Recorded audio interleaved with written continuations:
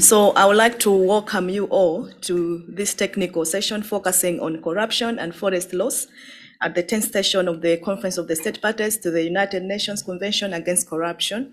This session is part of the special event Action Now, combating corruption to protect the environment. We do have interpretation, as Maria uh, already mentioned. Uh, all you need to do is to scan your QR code on the slide, which will take you to the Zoom link, and you can select the language of your choice. So we have a great panel uh, today, and I'm looking forward to pro- what promises to be an insightful discussion. To get, to get us underway, I would like to welcome uh, two gentlemen from Brazil. Um, this is Mr. Renato Madsen Arruda, who is the Federal Police General Coordination for the Protection of the Amazon, the Environment, and Historical and Cultural Heritage, and Mr. Edson Fabio Garutti Moreira, Head of Institutional Coordination Unit at the Ministry of Justice and Public Security, Brazil. These two will share their insights uh, on the importance of institutional cooperation in tackling corruption related to environmental crimes. Welcome, gentlemen. Uh, the floor is yours. Uh, This side? Okay, I'm looking. Thank you, Ms. Marta. Thank you all for being here, ladies and gentlemen. Uh, The slides here, play. Okay, I'm Edson Garutti from Brazil. My colleague Renato is here also. We'll present to you some insights of our country. Uh, I will initiate with these three forums that we have to integrate. Brazil is a big country, so we have to integrate areas every time. Every, every, every day, it's our work to integrate areas of work. So we have three main forums to, to deal with this kind of issue, environmental issues. We have ENCCLA, it's our national strategy against corruption and money laundering, ENCCLA, the first one here. It was launched in 2003, so the same year as UNCAC, okay? We have PPCDAm, uh, that's the action plan for the prevention and control of deforestation in the legal Amazon. Okay, the difference is the ENCCLA is the national strategy anti-corruption and anti-money laundering. It produces public policy on these issues. And the PPCDAm is focus on environment, is an action plan with um, that I'll, I'll talk a little bit later. And we have AMAS. AMAS is the Amazon Security and Sovereignty Program. Uh, it's a program that produces the cooperation among the police in all states of Brazil. So I will start with PPC then AMAS, and then a little bit about ENCCLA. PPC, PPCDAm, Action Plan for the Prevention and Control of Deforestation in the Legal Amazon, launched in 2004, now is in the fifth phase, 2023 to 2027, and have four thematic axes to guide government actions. First one, sustainable productive activities. Second, environmental and control. Third, territorial and land planning. And fourth, normative and economic instruments. Uh, there is 13 federal cabinets led by the Ministry of Environment and Climate Change that dialogue with environmental agencies of the nine states of legal Amazon, the region of Amazon. Okay, AMAS, it's the Amazon Security and Sovereignty Program, launched in 2023, this year. So it's a innovation that we are creating and implement, implemented now and deal with public security actions to reduce violence in Amazon region, inclu including uh, all types of crimes, including environmental crimes. Uh, let's see, yes, in 2024, the next year, we'll start an international police cooperation center in Manaus, the capital of Amazon state in Brazil, uh, where the police officers from the eight Amazon countries plan and will plan and execute public security actions among those 80 countries. So that's public security integration. And about the ENCCLA, our national strategy against corruption and money laundering, it was launched in 2003. It's the main cooperation for against corruption and money laundering in Brazil that congregate more than 80 public agencies among executive, legislative, and judiciary branches. Uh, and also the prosecutors are in ENCCLA. Uh, in, the, in previous years, some ENCCLA actions carried out uh, specifically aimed to, uh, at corruption and money laundering related to environmental crimes. I will present just briefly for you the, the action three that continued to, through the years 2021, 22, and 23 deal with illegal mining. So gold traceability mechanism, mitigation of asset laundering risks. And we are talking about asset laundering and not only money laundering because the gold is laundered, okay? Uh, we produce a new regulatory framework for supervising compliance with money laundering prevention duties. An initial application of this new regulatory framework is doing right now. And the action, actions 10 through the years 2021, 22, and also 23 uh, deals with the, the environment uh, in a broad perspective. So the actions 10 of those years produce recommendations to strengthen the fight against corruption and money laundering related to environmental crimes, a broad perspective and produces a diagnosis of fraud and corruption risks associated specifically with fraud in rural property records. So that's a, a, an overview that we are doing to integrate all the agencies in Brazil. And I'll give the floor to my colleague Renato to talk a little bit about federal police actions. Renato, please. Good morning, everyone. Uh, good morning, Mr. Mata, me, uh, my friends from the, the, table here and everybody in this room. For me, it's a pleasure to be here. It's an honor because I'm dealing with environmental crime since 2011. So to be in this forum about corruption is, uh, I think that's a great evolution on this fight, getting everybody together in this, this combat is, it's very happy for me.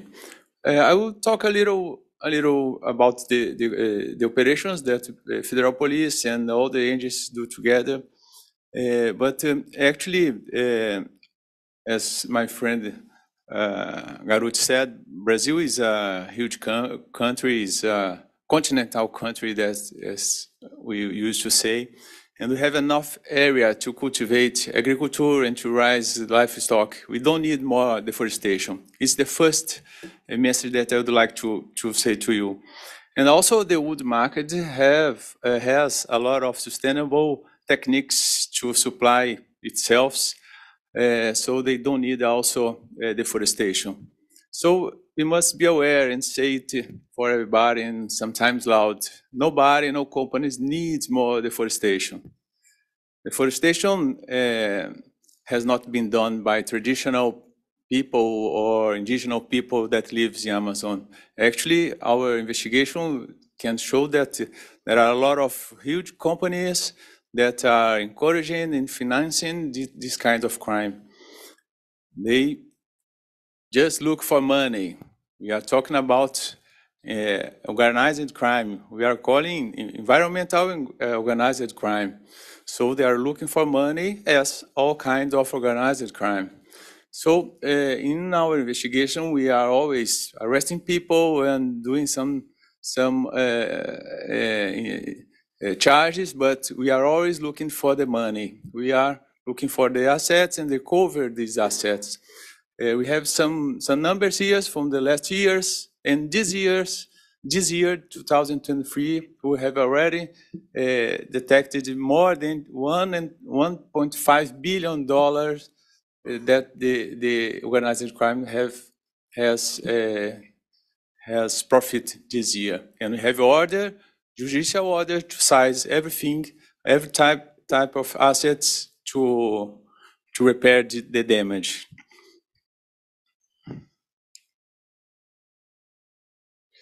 Uh, and we do it with a lot of technology. Uh, we use a lot of uh, satellite images and uh, artificial uh, intelligence that show us a lot of alerts of deforestation. We, we deal with, uh, we do it with a lot of agents. We are cooperation every time, every day with IBAMA, that's the, the most important environmental agency in Brazil. And the, the problem that we have with corruption is that when, the, when a, a company receive a license to, to, to do some uh, logging and it's, uh, it's not, uh, it's not uh, observing the sustainable rules, they, they mix the legal and the illegal timber. So it becomes more difficult sometimes, often, uh, impossible to separate, to distinguish the illegal and the legal. So it's like we see in the laundry money. So we are talking here about laundry, the assets, like Garut said the, about the gold. Uh, they are trying to, to be, oh, thank you. It's, they try to, to, to do not allow the force, uh, the law enforcement to, to size it and to recover to the, the assets to the patrimony.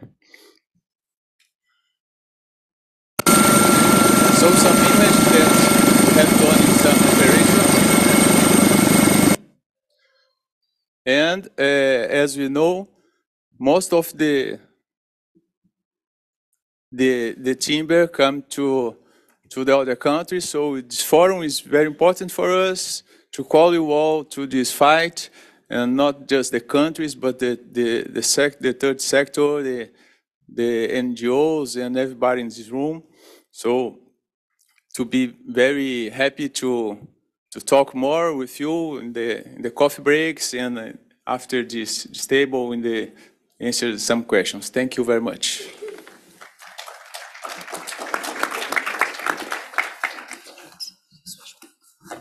Thank you, thank you so, thank you so much, uh, Brazil, for, for those insights. Uh, we would like now to move to the roundtable session of this event, and uh, I would like to start it off by sharing a bit of insights from Malawi on what we are doing uh, over this issue. So back home in Malawi, we are also experiencing forest loss at an alarming rate of 0.6% to 0.7% per year, translating to about 15,000 hectares a year, which we are losing. So for us, probably unlike other countries, the primary driver of deforestation is lack of cooking and heating energy alternatives. Uh, more than 80% of Malawi's uh, population uh, energy supply comes from biomass, with 76.4% of urban and 81.7% rural population using charcoal as a source of cooking energy. Malawi has uh, uh, approximately 11% of the population connected to the grid, but only 2% uh, are using electricity. So the impact of deforestation in Malawi has been very devastating. There's been uncontrollable floods uh, during cyclones leading to deaths of thousands of people. Uh, like in 2022, we had Cyclone Ana and Gombe. And just earlier this year, we had a very devastating uh, Cyclone Freddy. Uh, this has further exacerbated uh, the load shedding problem, blackouts, and therefore reduced economic activities, livestock deaths and therefore livelihoods have been washed away and damaged infrastructure, which estimated that at least from this year's cyclone, a third of the third, one third of the road network in the southern region of Malawi was washed out. So our assessment has shown that corruption has played a significant role for our state of affairs. Number one, corruption has been key in enabling illegal logging of forest areas due to issuances of logging licenses um, in corrupt manner, failure to regulate logging of trees from prohibited natural and man-made forest areas due to bribery and influence peddling. Corruption has been major facilitator into movement of the illegal charcoal and firewood through roadblocks and police checkpoints. Corruption has resulted into great loss of revenue for Malawi government, um, the second largest man-made forest in Africa was in Malawi. Uh, we used to call it Chikangawa, but the country failed to manage its harvesting due to many interested corrupt people who obtained logging licenses in corrupt manner and their logging went unregulated. The forest area has vanished without much benefit to the country. However, as a country, we haven't just sat down, sitting idle, looking at this problem. We have made some interventions. Uh, so the Anti-Corruption Bureau has put preventative and enforcement programs to deal with corruption in the forest sector through the following strategies. One, we strengthened our law because it used to be very weak. So in 2017, we, we comprehensively amended the Forest Act to provide for stiff penalties for anyone found transporting illegal charcoal and firewood. So since then, there's been quite a number, uh, good number of arrests and impounding of vehicles uh, found transporting these products. And then number two, which also speaks to what Brazil has just presented, is coordinated efforts with other law enforcement agencies through what we call the Interagency Committee on Combating Wildlife Crimes. We have gone this way because we understand the complexity of the sector and secretive, secretiveness of corrupt activities, corrupt activities associated with it.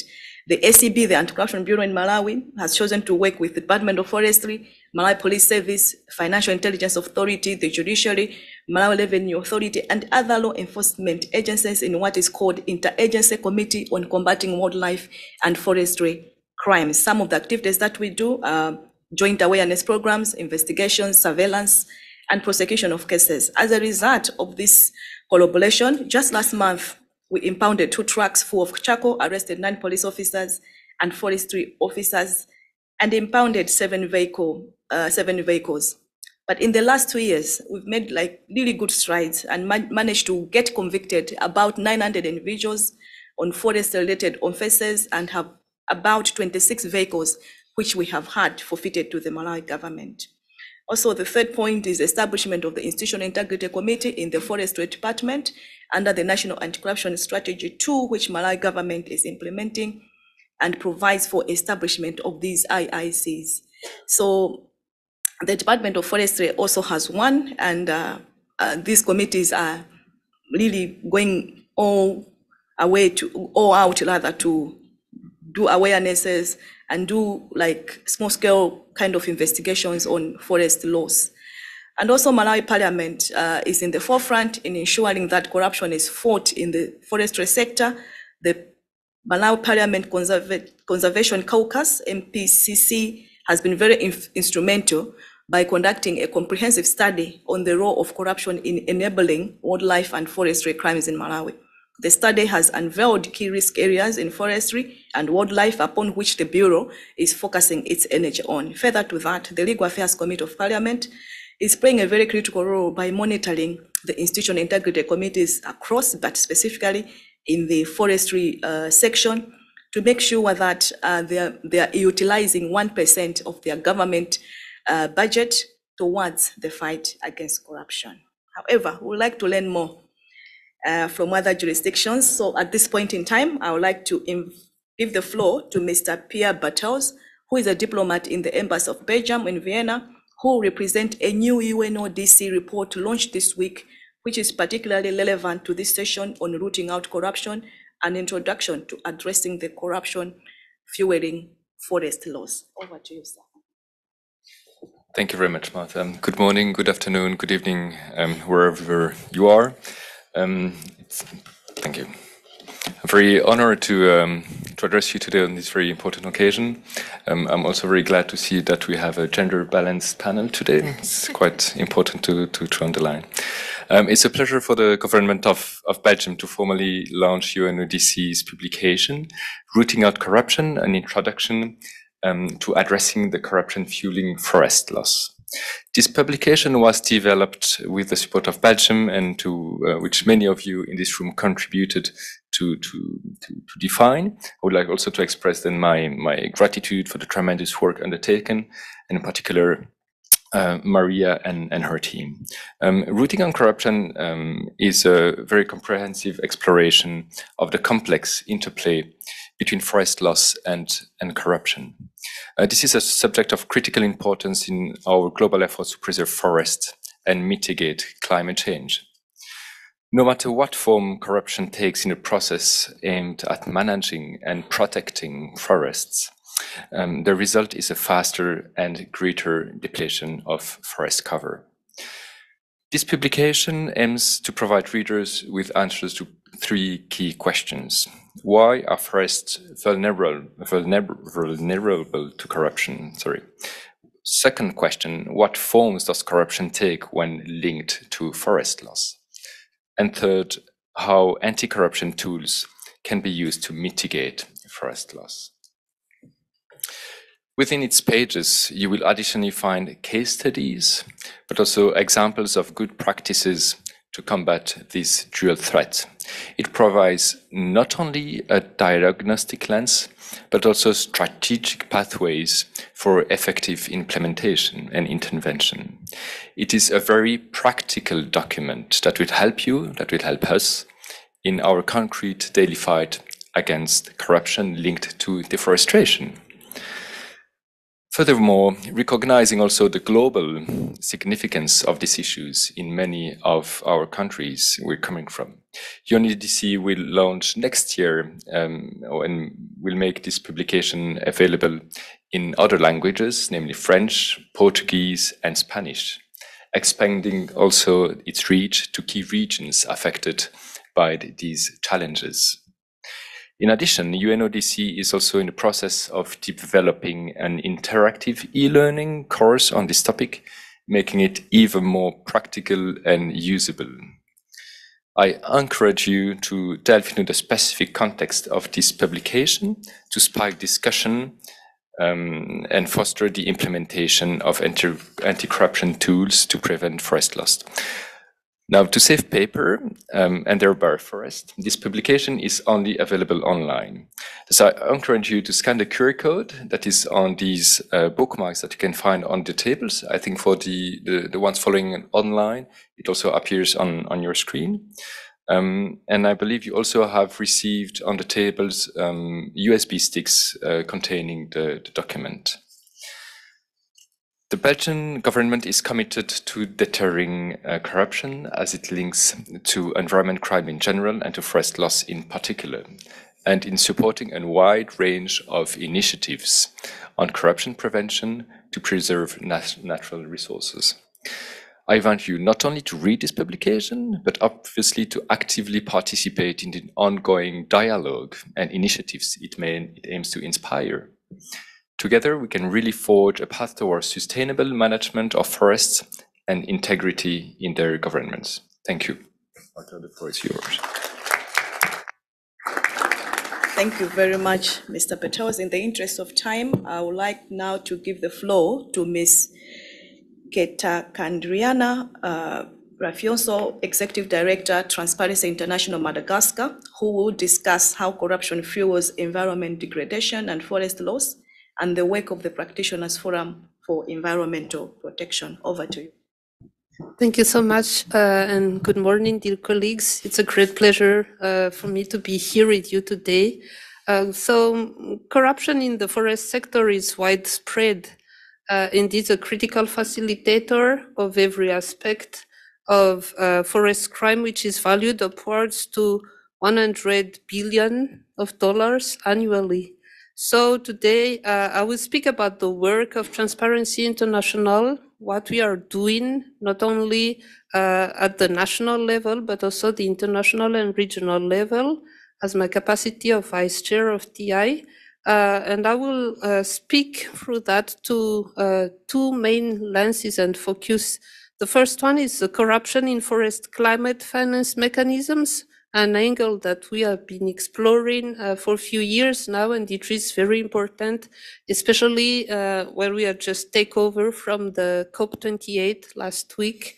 And the second angle is uh, the nexus between migration, land, corruption, and forest loss. So very briefly on the first aspect, uh, the important role of forest to climate efforts is reflected in a broad range of forest climate finance mechanism, but it's often focused on the technical environmental details, uh, protecting forest habitats, but corruption can turn well-intentioned initiatives into useless investments and disasters, uh, either directly because funds are embezzled uh, or indirectly because it enables illegal logging, nullifying any positive effects uh, of climate finance initiatives Corruption can also make such initiatives an instrument to cause harm to local populations and communities uh, and environment. So in 2021, we conducted a study that looked at forest climate uh, finance flows and examined the governance of forest climate finance in six forest-rich countries uh, across the continent, across three continents. So Cameroon, the D DRC, Ghana, Indonesia, Peru, and the Republic uh, of Congo. This report is still available on our website if you are keen to read it. And we are also working uh, on another project with uh, um, multiple chapters from the five continents on the relationship between, once again, climate finance and environmental degradation. Uh, so one of the main findings of that report is that TI's corruption perception index seems to be higher in countries uh, where corruption fools, you know, um, forestry loss and uh, illegal logging. So there is a tight linkages between this level of perceived corruption and the destruction of the environment. This demonstrates the weight of forest and environmental corruption on the scale of the overall corruption that affect countries and sometimes entire regions. Um, and then on the second aspect, more at the national scale, I briefly take the example of our work in Madagascar. So we are part of the countering corruption in uh, wildlife trafficking funded by USAID and that we are conducting with WWF, uh, Traffic and AVGN National, another national coalition in Madagascar. And um, the forest loss in Madagascar, um, it is something really striking. It is huge. You know that Madagascar, for those of you who know the country, it is a hotspot of biodiversity. But it seems that we already lost 80% of our natural areas and uh, we will continue to lose an estimated 200,000 hectares of forest each year, every year. Uh, and then um, it is estimated that in 40 years, nothing will remain in Madagascar. And corruption is one of the drivers of such deforestation.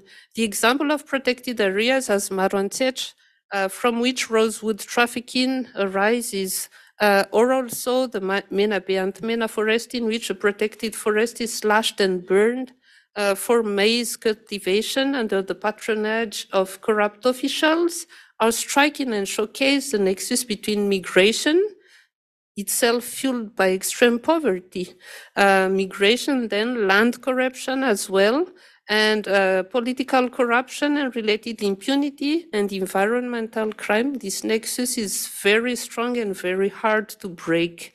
Um, because even if most of corruption perpetrators in Madagascar are identified uh, and sometimes, you know, put under arrest, uh, the, the low rate of conviction uh, is also another reflection of the striking corruption which prevails in the country. So this impunity is one obstacle to, uh, you know, the alleviation of this scourge. So to conclude with what to do then? Uh, if some the the pictures looks very you know uh, dark for now but there are some solutions. And part of the recommendations that we have identified uh, is to improve the access to information and establishing transparency policies for forest climate finance. It's also about broadening participation of civil society communities and indigenous communities in the forest uh, management, but also the, the fight against corruption itself, because we cannot pretend to be successful if we don't include communities into the fight. Uh, third recommendation is to enhance independent monitoring and establishing redress mechanisms uh, and with whistleblowers protection to address corruption risks. And on that chapter of uh, whistleblower protection, I would like to say a word to call for, uh, in the benefit of the campaign, for freeing Gubad Ibadoglu, this uh, Azerbaijani researcher and environmental defender who has been put in, under arrest in Azerbaijan right now, I believe, uh, that his son is within the room and can maybe say a few words about that because whistleblowers protection is something crucial if we want to defend the environment and fight corruption. We ought to take some you know, uh, sustained measures for protecting environmental defenders. Fourth recommendation is establishing community-owned and managed projects and improving land tenure to reduce land use uh, conflicts and deforestation, and finally ensuring that forest climate finance contributions are adequate and predictable and achieving equitable benefit sharing. And I will call you all to join the practitioners forum that Liz already, you know, bragged about. Uh, it's a very important initiative, uh, and we, we are very happy at Transparency International to be part of it. We need to work together in order to put this forest loss fueled by corruption to an end. Thank you very much. Thank you. Thank you so much for that enlightening um, uh, presentation. I think what is striking is the, the, the, the link between the CPI score and the forest loss. I did not know about that. So without much ado, let me now welcome uh, Ms. Erica Hani Chaki, Government Affairs Director at the FACT Coalition, which recently published a report entitled Dirty Money and the Destruction of the Amazon. Erica will share her insights on the illicit financial flows that fuel forest loss. Over to you. Thank you so much, and it's great to be here today. Hi, my name is Erica Hanichak. I work with a group called the FACT Coalition. We're a coalition of more than 100 state, national, and international groups committed to combating harmful corrupt practices. Uh, a big part of this connects to the environment. Uh, we know this well, that nature, crime, and corruption are not crimes of passion. They are crimes of profit. Uh, and this is exactly why combating illicit finance that fuels forest loss is so crucial uh, and really is a transnational problem that requires international cooperation. I'm sure it's already been mentioned today, but I'll mention one more time uh, that environmental crimes are about worth about 281 billion dollars annually. It's the third most profitable crime in the world. Um, this, that's why initiatives like the Basel Institute's Follow the Money Project are so important. Now, I'm based in the United States, and as we might also guess, a lot of this money finds its way to the global north. Large economies with Swiss cheese style loopholes in their anti money laundering system that invite dirty money in. Um, and again, fuel these crimes happening uh, in local jurisdictions like in Brazil and other places. Um, so as was mentioned, we just uh, released a report in October called Dirty Money and the Destruction of the Amazon that looks at how this money finds its way into the United States. Our own Treasury Secretary has said that there's a good case right now that the that the best place to hide and launder ill-gotten gains is actually the United States. Um, so let's take a little bit of a look at why illicit finance happens in connection with uh, forest loss and nature crime. Uh, and then let's talk about some of the solutions that we can pursue, uh, both as civil society and governments, uh, to try to tackle this problem. Many in this room might already be familiar with a financial action task force report that was released in 2021 that specifically looked at this issue and looked at how it's hard for law enforcement to sometimes identify uh, and track the money uh, that comes out of uh, environmental crimes. And first, while these crimes might be easy to define on paper, sometimes they're hard to define in practice uh, either in uh, you know being able to identify a specific species of wood that might be uh, you know uh, trafficked out um, as as timber, uh, or uh, you know also including legal definitions. Um, that's quite a challenge. Second of all, they're hard to detect. Sometimes they're in happening in remote locations. Again, sometimes it requires technical knowledge that law enforcement may not be able to have. Uh, they're transnational and require international cooperation. And I am coming from the US context, sometimes where we might not be the best at sharing information.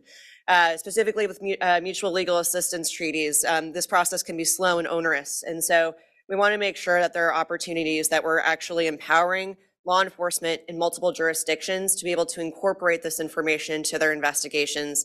And then also that they have the resources to spend their time on what can be complex, years long investigations into the money. Um, and then lastly, we're obviously talking about corruption uh, this week. Uh, corruption can weaken systems and make it really tough sometimes to be able to, again, catch some of this. Uh, you know, it's convergent crime with forest loss. Uh, so we're not always able to, uh, you know, maybe crack down as hard as we might want to on some of these crimes. So as I mentioned, we're looking specifically uh, at how uh, particularly illegal gold mining and forestry crimes in the Amazon are finding their way into the United States. Um, and we've learned a little bit more about how our anti-money laundering loopholes are a magnet for corrupt and criminal funds. Uh, the United States is one of the top suppliers of financial secrecy in the world. Um, and we're looking particularly at how, again, in our system, but how we can use this as a lesson more broadly for governments uh, to how to plug some of these loopholes. So I think it was Lisa who mentioned uh, the importance of beneficial ownership registries. Uh, my coalition was actually founded specifically to focus on that in the US about 10 years ago. And we have seen a pretty good pivot in the past uh, 10 to 20 years uh, in adopting beneficial ownership registries worldwide. We're now in a place where 132 jurisdictions have pledged uh, or have implemented their own registries, and we keep, need to keep making progress, excuse me, on getting more wins on the board. Um, but again, we talked about the importance of access and sharing this information. Some of these registers are public, some are not. The United States register that starts on January 1st will not be public. And so uh, it's important that we can make sure that our international law enforcement can continue to use this information for their investigations. Uh, furthermore, the importance of verification to make sure that this data that goes in about the true the true owner behind an anonymous entity um, can actually be verified. That you know you can actually put together the pieces of the puzzle, and that law enforcement has good tools. I also mentioned the importance of plugging our anti-money laundering loopholes, uh, particularly enabler, enablers like uh, real estate professionals, uh, private investment advisors, lawyers, and corporate service providers enable environmental criminals and corrupt officials to take their money out of these jurisdictions and invest them uh, in assets and uh, in you know investments uh, around the world. And so making sure that these folks have anti-money laundering obligations is key. Thirdly, it's really crucial that environmental crimes are considered a predicate offense for money laundering. Uh, in this FATF report that I mentioned, uh, there was a study of how many jurisdictions have actually taken this step. Uh, and the FATF found that really only jurisdictions that uh, are in destination countries, perhaps in the Amazon or in other places like that, um, have actually taken this step to adopt environmental crimes as a predicate offense, meaning that uh, that prosecutors don't necessarily have the tools, uh, but also that environmental criminals get let off the hook, so to speak, uh, making it, it, perpetuating the uh, the thought that these are high reward, low risk crimes. So pursuing that is really key. And then the last thing I'll say, and I'll turn it back to the panel, is that it's absolutely crucial that we actually properly resource our law enforcement, our financial intelligence units, and other investigators to tackle these crimes. As I mentioned, that these are a years long investigation sometimes. And so uh, we want to make sure that we can sustain the momentum forward uh, and to make sure that uh, our folks that are responsible for investigating environmental crime uh, can actually do so. So thank you so much. Back to you. Thank you. Thank you so much, Erica. Um, uh, let me now welcome Ms. Lynn, um, who is the Senior Associate Financial Crime and Corruption, Nature Crime Alliance. Uh, Lynn will highlight the work of the Alliance on tackling financial crimes linked to nature crimes and its role as a stakeholder network. Over to you. Thank you very much. I'm very honored to be on this panel. Um, I would like to uh, give a brief introduction to the work of the Nature Crime Alliance. Um, the Nature Crime Alliance is a relatively new initiative uh, launched in August 2023. And it works uh, as a multi-stakeholder initiative, bringing together different um, stakeholders to bolster operational, um, operational support, raise political will, and um, funding to, um, to tackle nature crimes. It's funded by the US and Norway. And um, uh, the idea is to bring together the different stakeholders that are not usually communicating to, um, to better tackle um, nature crimes. With nature crimes, we are talking about illegal logging, illegal fishing, wildlife crime, illegal mining, and illegal land conversion. The bulk of the operational work, which is what I will focus on today, um, is to develop these working groups like I mentioned, where we would bring together stakeholders that may not communicate to connect the dots in areas um, where, uh, for example, financial crimes linked to nature crimes are difficult to tackle. I will also talk a little bit first about some of the challenges that we've seen in terms of, um, of nature crimes linked to specifically illegal logging. So here is an example of a quite a typical, not even a large conglomerate operating in the Asia Pacific region, um, where you can see um, some of the company structures that are operating. Um, this is also uh, a way to kind of identify some of the challenges linked to corruption, um, because you can see that one conglomerate can not only be involved in illegal logging, but many, many different sectors, including mining, real estate, shipping, uh, and the insurance business. And essentially, they're controlling the entire supply chain from uh, the source to the final destination uh, market. Um, this can make it very challenging. Also, risks uh, linked to financial crimes are much more obvious. Um, Interpol estimated that uh, corruption is worth 29 billion a year uh, linked to forestry crimes. Um, and of the biggest of that is um, is um, is corruption in, in, in the form of bribery. So in terms of obtaining logging permits in concession areas, but also for obtaining um, security uh, to, for example, um, scare away indigenous peoples, uh, to, um, to get access to forestry resources. Also in terms of the shipping, um, bribing customs officials, um, and making sure that the operations run um, from uh, through the supply chain. So it's embedded uh, throughout the supply chain. One of the challenges in terms of uh, corruption being at the start of the supply chain, so obtaining a logging concession illegally through a bribe, is that once you have the permit, the logs um, look look legal for the rest of the supply chain. So this makes it very challenging when you're operating in a destination market to identify uh, whether the logs are legal or illegal, which is something that I think many panelists have already discussed, is the mixing of legal with illegal timber. Um, also, at the final destination market, you can see uh, corruption being an issue because some of the mills might accept logs at a lower value, which are illegal, um, compared to um, following the legal uh, supply chain. So these are some of the challenges that we're seeing now. What is the Nature Crime Alliance aiming to do uh, to support uh, its members, which are um, governments, um, but also uh, international organizations and police organizations like Interpol is a member, uh, Transparency International and EIA are also members, to bring together um, these different stakeholders to, um, to, to better communicate in ways of tackling nature crimes.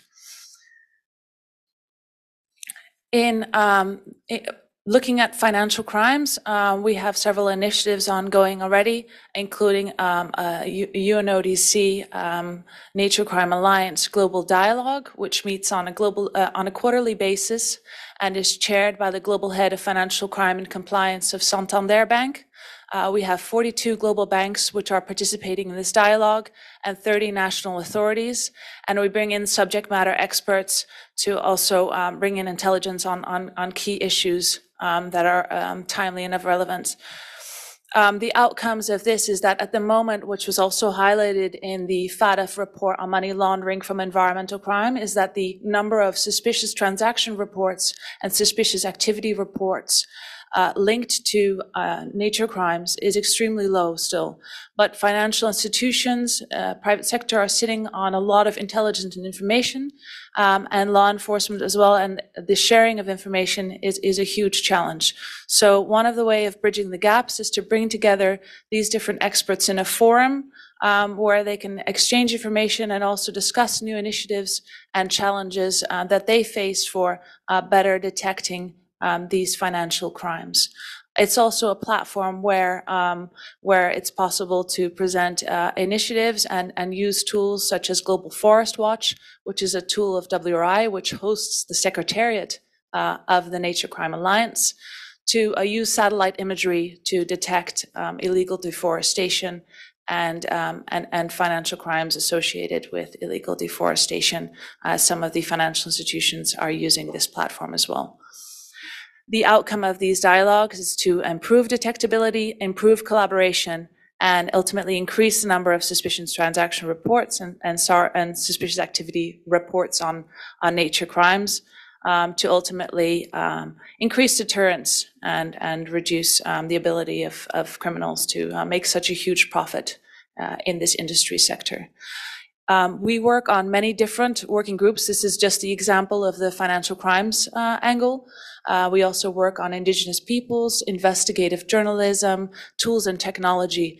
And it, I would encourage you to um, come see us uh, after this uh, session, uh, where we can tell you more about the Alliance and also how to join this new initiative.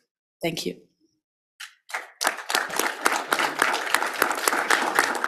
Thank you so much, Lynn. So in the interest of time, we may not go into questions because we are already over our allocated time. But as you may be aware, Norway is an important player in tackling illegal deforestation, funding programs such as the UNODC Interpol Law Enforcement Assistance Program, as well as the Nature Crime Alliance, and by providing important tools and technology that are transforming the fight against nature crime. I would therefore like to welcome Mr. Mats Benestad, Policy Director, Minister of Foreign Affairs, Norway, to provide the closing remarks for this event. Over to you, sir. Thank you very much, Madam Chair. And I have summarized the question and answer as my first uh, brackets here. But uh, so let me just start by thanking the organizer of this um, event uh, and to all speakers here today for sharing their insightful uh, knowledge on this important topic. I think we can agree that uh, the panelists have given us an idea how multifaceted this crime is. Brazil, which we are all aware is home to a large part of the world's biggest rainforest, and representatives from Brazil offered us a very good case study of the importance of institutional cooperation in fighting environmental crime-related corruption. Brazil is also a leading example in reducing illegal deforestation. Since Brazil began its reforms, forest reforms about 15 years ago, Brazil has made reductions of about 5 billion tons of CO2 from reduced deforestation. And this is, uh, listen, listen to this, this is equivalent to about 90 years of Norwegian emissions. So this is extremely important. And at the COP28, the Norwegian government provided an additional 50 million US dollar to the Amazon Fund. And over the last 15 years, we have provided 5 billion US dollar to, to um, saving the world's tropical forests. So I was also impressed by the work you're doing in Malawi uh, and also to the civil society representatives here. Your work and as our partners, that's also invaluable. Uh, the speakers today have touched on the gravity of organized and large-scale forest crime. And we are not just talking about a few trees being cut illegally. We're talking about one of the largest illicit economies in the world. I think you mentioned the third lar largest. Um, an economy that is closely interlinked with financial crime, human rights abuse, and trade in other illicit goods such as drugs. And equally alarming, large-scale illicit deforestation contributes greatly to global biodiversity and the climate crisis. Deforestation accelerates CO2 emissions into the atmosphere, causes by massive destruction of habitats, spread of disease, and unstable weather patterns, which in turn affects agriculture and ecosystems. Corruption is an effective enabler for this illegal business. We must go after those that enable corruption related to envi environmental crime and deforestation. And this is essential because deforestation must be curbed if we are to meet our global climate and diversity, biodiversity goals. The FACT Coalition made an interesting intervention on how corruption fuels environmental degradation and pointed to how money from this illicit trade is laundered into the global legal economy. Without proper financial control, proceeds from environmental crime are easily transferred among jurisdictions through shell companies, secrecy jurisdictions, with assistance of professional enablers. Because environmental crimes are interlinked with other serious forms of crime, they must also be addressed across sectors of the government. Norway is supporting many international initiatives, either in bilateral partnerships or with go other governments or through multilateral partners with expertise in this field, such as the United Nations Office on Drugs and Crime and Interpol. But governments and law enforcement cannot do it alone. Civil society play a key role. Norway supports investigative journalists in their efforts to expose environmental crime and other civil society organizations and indigenous frontline defenders. And I'm also adding whistleblowers, uh, key in this in these efforts, and we, the state parties, are discussing resolutions on that topic at this conference. So that is very very important also to to my uh, country. We also support the development and of technology and transparency tools to better and more easily expose illegal deforestation and with it the corruption that enables the illegal deforestation. One such initiative is the Norwe Norwegian International Climate and Forest Initiative satellite program. This program provides free access to high resolution satellite data of the tropics. The data is being used by law enforcement, researcher, indigenous groups, and civil society organizations, and you and me when we search for locations in the tropics through Google Earth engine. A final initiative that I would like to point to is the Nature Crime Alliance. The alliance, which was launched in August of this year, is a global multi-sectoral initiative that welcomes governments, civil society, law enforcement, and funders to come together and find good solutions in fighting nature crime and convergent crimes such as corruption. We hope to see more partners joining this alliance. Combating corruption and illicit financial flows related to illegal logging more efficiently is essential for developing countries to mobilize domestic resources for sustainable development. We recognize the efforts made to promote a resolution on environmental crime ahead of this Conference of the States Parties. Norway was ready to support such a resolution if it had been presented, but timing was maybe not right before this conference. We will continue to work in this field, and we look forward to discussing with all interested parties a possible resolution for the next Conference of the State Parties. Thank you for your attention.